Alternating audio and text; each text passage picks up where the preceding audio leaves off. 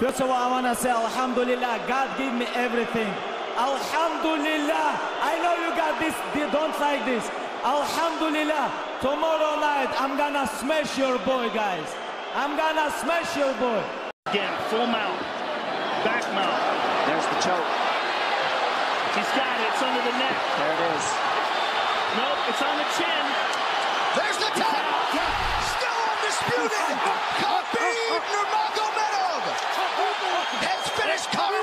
and Alhamdulillah, undisputed, undefeated UFC lightweight champion.